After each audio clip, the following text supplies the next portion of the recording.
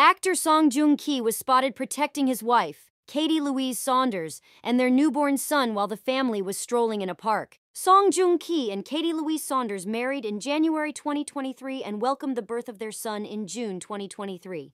Since they revealed their relationship, the couple has been spotted on various dates in public. In a new video circulating online, Song Joong Ki can be seen smiling and greeting passersby who recognized him.